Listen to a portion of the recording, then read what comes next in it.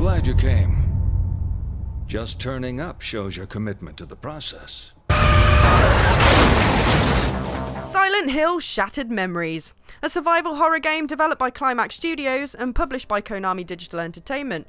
Released for Nintendo Wii in December 2009 and also ported to PS2 and PSP in 2010 and 14. The Wii version for me will always stand out as a horror favourite. You take control of protagonist Harry Mason in his quest to find his missing daughter in the fictitious American town of Silent Hill.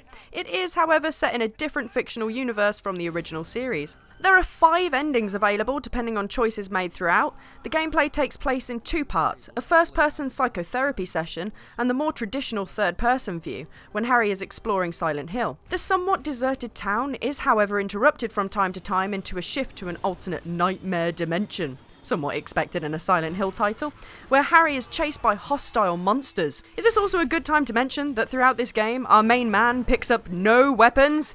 Yeah, it's one of those. The only items we use throughout are our trusty mobile phone and torch. However, our phone is pretty handy, doubling up as our GPS map, a camera to view paranormal entities not visible without, alert us to certain spots with high interference, represented by a lot of radio noise, unlocking various text and voicemail messages to help expand the story, and, well, the obvious, making phone calls. The first person psychotherapy sessions have been carried out really well. Completing psychological tests, filling out questionnaires, or colouring pictures all add up to a slightly different version of the game. How you respond in these sessions actually determines the style of monsters you'll face in the nightmare world. Pretty cool, huh? The story itself isn't too stimulating, and you can complete the game in under 8 hours, which is one criticism. However, from personal experience, you're going to be spending quite a bit of time running from the monsters in the icy nightmare world, and in the Wii version, you use the remote and nunchuck to physically fling these things off your back. So you may look a bit crazy in your living room, but hey, it's definitely worth a play one evening. Pop it on and get running.